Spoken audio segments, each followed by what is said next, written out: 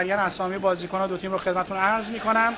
ببینیم از این توپ چگونه نفتی ها استفاده می‌کنن. ارسال بلند نوید کیا. موقعیت برای گل چهارم. موقعیت برای گل چهارم و گل چهارم برای صنعت و لوان پاچاجیان.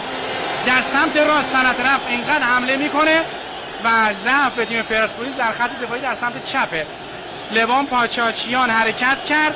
فونیکسی فرستاد و خود لوان دروازه رو باز می‌کنه یه بار نگاه کنید اینجا بود فرستاد استوپسینه عالی و باز هم اشتباه میساق معمارزاده است که برای بار چهارم یک نتیجه پرگل و اینجا بود.